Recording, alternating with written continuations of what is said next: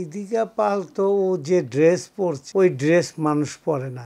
এখন বরখা পরলে কি আর সাজবে? যে যত খোলাইতে পারে যে যত দেখাইতে পারে। আমাদের কি শিল্পীদের এত অভাব যে ভারত থেকে শিল্পী আমদানি করে আমাদের ছবি করতে হবে এবং তাদের ছবি যে খুব বেশি চলতেছে তা না। ইধিকা পালের ব্যাপারটা তো অন্যরকম। ইদিকা পাল তো ও যে ড্রেস পরছে বিগত দিনের যেসব ছবিতে ওই ড্রেস মানুষ পরে না। এখন বরখা পরলে কি আর সাজবে? সাজবে না। তে আমার মনে হয় উনি যে ড্রেস পরে ইন্ডিয়া শর্ট দিচ্ছে আমার মনে হয় ওখানে থাকলেই ভালো।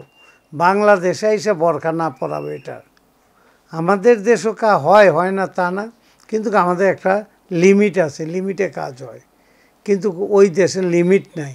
যে যত খোলাইতে পারে, যে যত দেখাইতে পারে, তবে আমাদের দেশটা ওইটা না করা বেটার আমরা মুসলমান মুসলমান কান্ট্রি আমরা মুসলমান স্টাইলে আমরা কাজ করার চেষ্টা করি।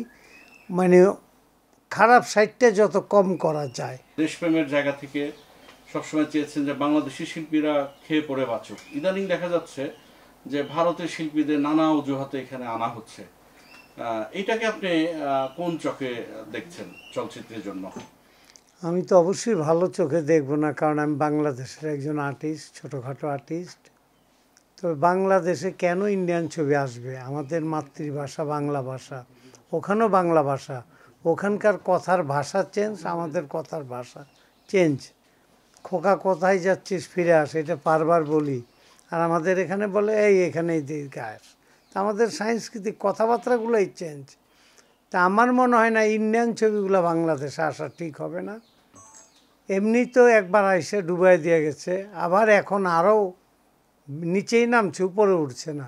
তা আমার বিশ্বাস এই ছবিগুলো যদি মাননীয় প্রধানমন্ত্রী অফ করে, অফ হবে, নাইলে অফ হবে না। তো আমার বিশ্বাস ইন্ডিয়ান ছবি অফ করার চিন্তা চলছে, বোধহয় অফ করে দিবে। তবে এইটা নিয়ে আর মাতামাতি না করা বেটার। ইন্ডিয়ান ছবি তোমাদের তো বিশাল বড় দেশ, বিশাল বড় তোমরা সারা পৃথিবীতে চালাচ্ছ।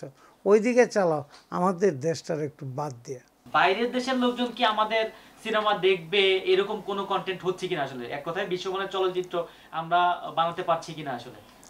আমরা তো বানাইছি বিগত দিনেও, এখনও বানাচ্ছি। অনেকে অনেক কথা বলতে পারে যে আমরা কম বাজেটে করি, এই বাজেটে করি। আমরা যে বাজেটেই করি, আমরা ছবি বানানোর চেষ্টা করি। আমরা তো নাটক বানাচ্ছি না, আমরা ফিল্ম বানাচ্ছি। ভালো যেখানে যেটা লাগছে, সেখানে সেটাই কাজ করছি। এখন তো সিনেমা হলই কম, এখন একশো রকম সিনেমা হল আছে। তবে যখন কাজ ভালো হবে, এই এখন তো হিন্দি ছবি আসছে, বাংলা ছবি চলছে, আরও বাইরে আমাদের বাজারটারে ধ্বংস করে দিয়ে যাচ্ছে। তাতে ভালো কিছু হচ্ছে না। ইন্ডিয়ান ছবি চলে না, হয়তো একটা দুটো ছবি মোটামুটি কিছুটা ভালো চলছে। হিন্দি ছবি বাংলাদেশে ভালো চলতে পারে না, আর ভালো, আমার মনে হয় না ভালো চলবে। বাংলাদেশি লোক বাংলাদেশি ছবি দেখার পাগল, বাংলাদেশি ছবি দেখবে। ছবি চলা বা ভালো সিনেমা হল লাগবে প্রথম।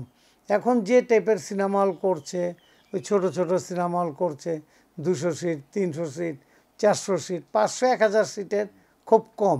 তা আমাদের যখন এক হাজার সিটেরই হবে রেটটা একটু কম হবে। আমাদের দর্শকও তো অত আপার ক্লাসের না। হ্যাঁ এখন যারা সিনে কমপ্লেক্সে যাচ্ছে, তারা টাকা এক হাজার, দুই হাজার, পাঁচ হাজার, ওদের ব্যাপার না, দেখল ছবি। আসলে ওরা তো ছবি দেখতে যায় না, ওরা সময় নষ্ট করতে যায়।